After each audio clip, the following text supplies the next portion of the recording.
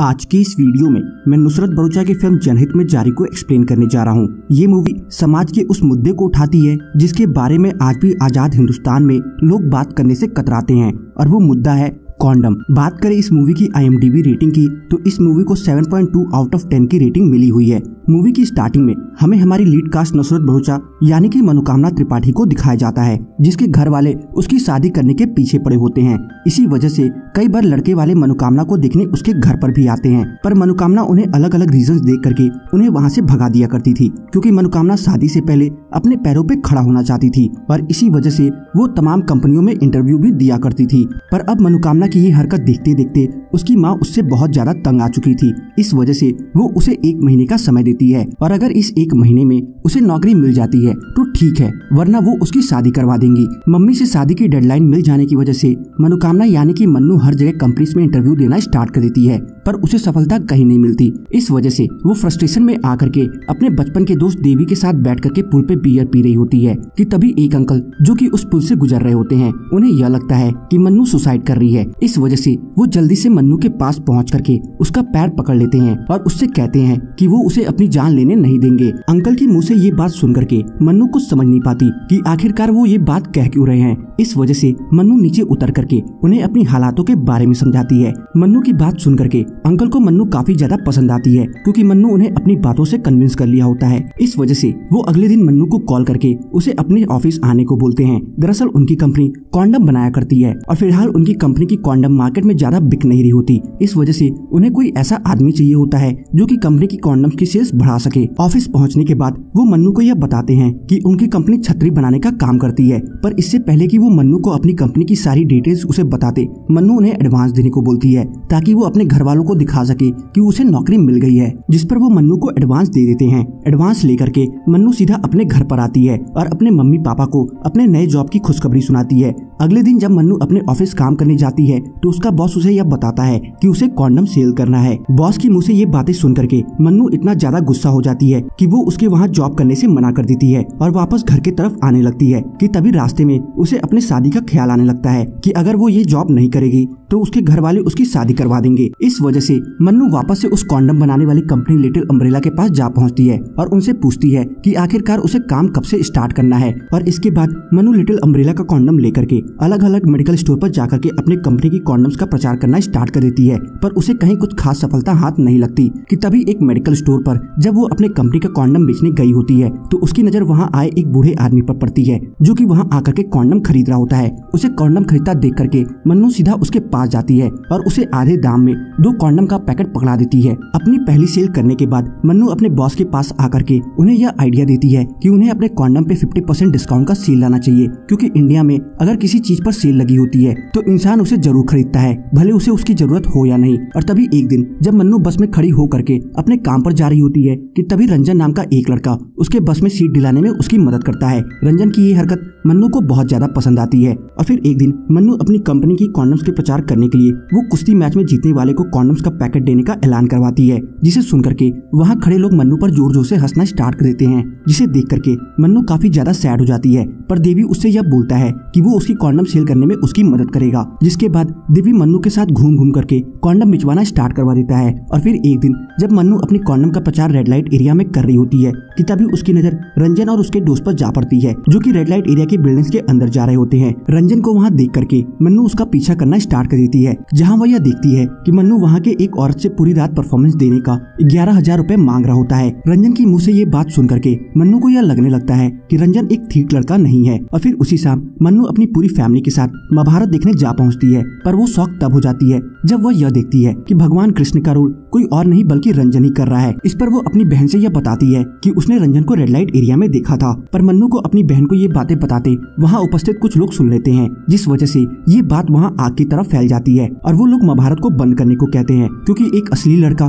भगवान कृष्ण का रोल करे, ये उन्हें साफ़ बर्दाश्त नहीं था। इस पर रंजन उनसे यह पूछता है कि आखिरकार उन्हें ये बात बताई किसने है कि मैं रेड लाइट एरिया में गया था। इस पर वहाँ के लोग यह बताते हैं कि मन्नू ने उन्हें ये बात बताया है। इस पर रंजन उनसे यह कहता है कि मैं तो बस वहाँ माता के जगराता की बुकिंग करने गया था और इतना कह करके वो वहाँ से चला जाता है, जिसके बाद अगली सुबह मन्नू रंजन के पास आकर के उससे अपनी की हुई गलतियों की माफ़ी मांगती है और उससे कहती है कि इस बार की होली वो उसके वहाँ आकर मनाए। है। और फिर होली वाले दिन, मन्नू और रंजन एक दूसरे के साथ खूब होली खेलते हैं, जिसे देख करके हमें ये साफ़ मालूम चल जाता है कि वो दोनों एक दूसरे से प्यार करने लगे हैं। और फिर उसी शाम, मन्नू की माँ को उनके घर पर कॉन्डम्स के कई सारे डब्बे पड़े मिलते हैं, जिस पर वो अपनी बाकी की लड़कियों से यह पूछ रही होती है की आखिरकार ये घर में कैसे आया, की तभी वहाँ मन्नू आ जाती है और उनसे बताती है की ये उसका है, क्यूँकी वो एक कॉन्डम बनाने वाली कंपनी में काम करती है। मन्नू की मुँह से ये बातें सुन करके उसकी माँ को पहले तो ये बात हजम ही नहीं होती की उनकी बेटी मार्केट में कॉन्डम बेचने का काम करती है पर मन्नू के समझाने के बाद वो इस बात को समझ जाती हैं कि कॉन्डम बेचना भी एक काम ही है और इसमें कोई बुराई नहीं है। और फिर थोड़े दिनों बाद रंजन के घर वाले मन्नू को देखने आ पहुँचते हैं, ताकि वो उनकी शादी की बात पक्की कर सकें। पर रंजन के घर वालों को ये बात पता नहीं होती है कि मन्नू एक कॉन्डम बनाने वाली कंपनी में सेल्स एग्जीक्यूटिव का काम करती है। इस वजह से वो इस शादी को हाँ कह देते हैं, जिसके बाद उन दोनों की शादी हो जाती है और सब कुछ सही सही चलने लगता है कि तभी एक दिन जब रंजन अपने पापा के साथ अपने दादा का आँख चेक करवा करके घर जा रहा होता है कि तभी उसके पापा की नज़र मन्नू पे जा पड़ती है। मन्नू को किसी दूसरे आदमी के बाइक पे बैठा देख करके रंजन के पापा उसे मन्नू का पीछा करने को बोलते हैं, जहाँ पीछा करते करते वो उस कॉन्डम बनाने वाली कंपनी में जा पहुँचते हैं, जहाँ मन्नू काम किया करती है। मन्नू को एक कॉन्डम कंपनी के अंदर काम करता देख करके वो गुस्से से वापस घर आ जाते हैं और रंजन को सुनाना स्टार्ट कर देते हैं कि तभी वहाँ मन्नू आ जाती है और उनसे यह बोलती है कि अगर आप लोगों को इस जॉब से प्रॉब्लम है तो मैं इस जॉब को छोड़ देती हूँ। मन्नू की मुँह से ये बात सुन करके रंजन के पापा का मूड एकदम शांत हो जाता है और सब कुछ बैक टू नॉर्मल हो जाता है। पर जो कि मन्नू एक पढ़ी लिखी लड़की होती है और उसे घर पर बैठना बिल्कुल भी पसंद नहीं होता। इस वजह से वो डब्बे बनाने वाली कंपनी को ज्वाइन कर लेती है और वहाँ सेल्स एग्जीक्यूटिव का काम करना स्टार्ट कर देती है कि तभी एक दिन जब वो प्रमोशन का काम करके घर निकल रही होती है कि तभी एक आंटी उसके पास आकर के उससे यह बोलती है कि वो उनकी लड़की को भी अपने साथ काम पर रख ले, ताकि इसी बहाने वो कुछ काम भी सीख लेगी और दो पैसे भी कमा लेगी, जिस पर मन्नू मान जाती है और पूजा को अपने साथ काम पर रख लेती है। पर फिर कुछ दिनों के बाद से पूजा काम पे आना बंद कर देती है, जिस पर जब मन्नू अपने साथ काम कर रही दूसरी लड़की से पूजा के बारे में पूछती है तो वो बताती है कि पूजा का आज पंचायत में फैसला है, जिस पर मन्नू सीधा उस पंचायत में जा पहुँचती है, जहाँ पंचायत वाले पूजा को वो बच्चा गिराने को बोलते हैं। ये सुन करके मन्नू उस पंचायत में अपनी आवाज़ उठाती है कि आखिरकार जब गलती दोनों की है तो सजा सिर्फ़ लड़की को ही क्यों मिले? लड़के की भी नसबंदी होनी चाहिए। ये सुन करके पंचायत के लोग बखला जाते हैं और वहाँ से उठकर जाने लगते हैं। उन्हें वहाँ से जाता देख करके पूजा और उसकी माँ मन्नू से रिक्वेस्ट करती हैं कि वो कुछ ना बोले, जिस पर मन्नू मान जाती है। और फिर एक दिन काम के सिलसिले से जब मन्नू बाहर जा रही होती है कि तभी बस स्टैंड पे उसे पूजा की माँ दिखाई देती है, जिस पर वो जा करके उनसे पूजा के बारे में पूछती है, जिस पर उसकी माँ मन्नू से यह बताती है कि पंचायत वालों की बातों में आकर के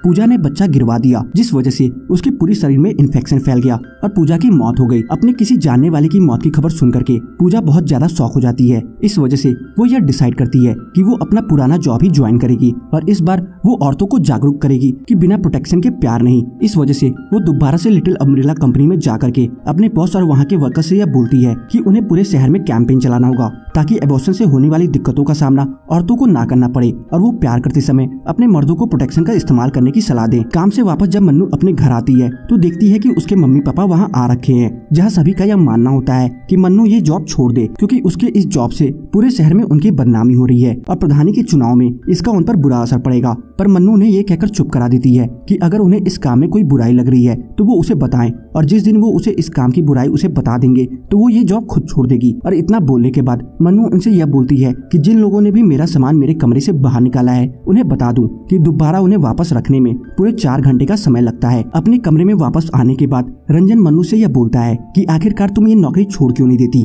जिस पर मन्नू उसे यह बोलती है कि पहले तो ये बस नौकरी थी, पर अब ये मेरी ज़िम्मेदारी है। और इतना कहने के बाद मन्नू रंजन से यह बोलती है कि पहली बार लाइफ में तुमसे शादी करके रिग्रेट हो रहा है, क्योंकि जो आदमी खुद का स्टैंड नहीं ले सकता, वो अपनी बीवी का स्टैंड क्या ही लेगा। मन्नू की ये बात रंजन को तीर की तरह जा लगती है और वो मन्नू से बात करना बंद कर देता है। पर अपने पापा के साथ वकील के पास जाकर के डिवोर्स पेपर तैयार करवा लेता है। पर इन तमाम आपसी मुटाव के बीच रंजन मन्नू से अब भी प्यार करता था। इस वजह से वो मन्नू से यह बताता है कि एक शादीशुदा मर्द की ज़िंदगी दो टांगों की तरह होती है, जहाँ एक टांग घर वालों की तो दूसरी टांग बीवी की। इस पर मन्नू उससे यह बोलती है कि तुम्हारी दोनों टांगे तुम्हारे पापा की ही हैं। इस पर रंजन मन्नू से यह बोलता है कि अब चाहे जो कुछ भी हो, मैं तुम्हारा हमेशा साथ दूँगा और फिर डिवोर्स के लिए जब वो दोनों जज के सामने पेश होते हैं तो उन दोनों में से कोई भी जज को वैलिड रीजन नहीं दे पाता कि आखिरकार वो दोनों एक दूसरे को डिवोर्स क्यों दे रहे हैं। इस वजह से जज उन्हें छह महीनों का समय देता है, ताकि वो आपसी मतभेद खत्म कर ले। नहीं तो छह महीने बाद उन दोनों की तलाक हो जाएगी। और अब मन्नू अपनी कॉन्डम को लार्जर ऑडियंस तक पहुँचाने और उनमें जागरूकता फैलाने के लिए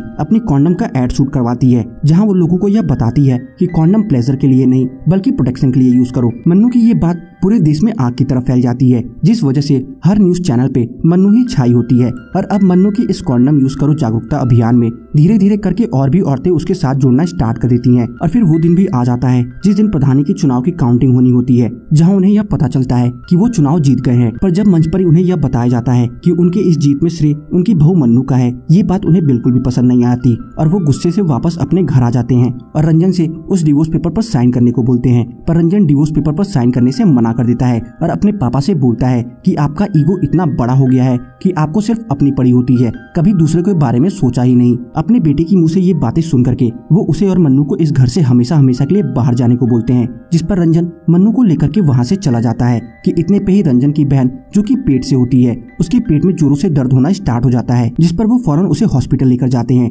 जहाँ डॉक्टर उनके दामाद को यह बोलता है कि आपको मैंने पहले ही बता रखा था कि आपकी बीवी का बच्चादानी कमज़ोर है और इससे पहले भी आपकी बीवी का दो बार एबॉर्शन हो चुका है। फिर भी आप उसके जान के साथ खेल रहे हैं। डॉक्टर के मुँह से ये बात सुन करके रंजन के पापा अपने दामाद पे इतना ज़्यादा गुस्सा हो जाते हैं कि वो उसका कॉलर पकड़ करके उससे यह बोलते हैं कि अगर मेरी बेटी को कुछ हुआ तो मैं तुम्हें यहीं पर ज़िंदा गाड़ दूँगा। ये सुन करके रंजन के दादाजी अपने बेटी से यह बोलते हैं कि यही तो इतने दिनों से मन्नू हम सभी को समझाने की कोशिश कर रही है कि प्यार करते वक्त प्रोटेक्शन का इस्तेमाल करें, पर तुम सबको कुछ समझ ही नहीं आता। और फिर कुछ समय बाद डॉक्टर उनसे यह बोलता है कि अब माँ और बच्चे दोनों खतरे से दूर हैं। ये सुन करके वहाँ मौजूद सभी लोग खुश हो जाते हैं, जिसके बाद से रंजन के पापा मन्नू की कंपनी में जा करके उससे अपनी गलतियों की माफ़ी मांगते हैं और उसे वापस अपने साथ घर चलने को बोलते हैं। और ये मूवी यहीं पे खत्म हो जाती है। तो बस आज की इस वीडियो में इतना ही। आपको मेरी जनहित में जारी मूवी की एक्सप्लेनेशन कैसी लगी? कमेंट सेक्शन में बताना ना भूलें। और अगर आपको मेरी जनहित में जारी मूवी की एक्सप्लेनेशन पसंद आई हो तो वीडियो को लाइक करके जाना ना भूलें। चैनल पे नए हैं तो चैनल को सब्सक्राइब ज़रूर कर लें, ताकि मुझे ऐसी ही मोटिवेशन मिलती रहे और मैं आप सबके लिए अच्छी से अच्छी वीडियोस लाता रहूँ।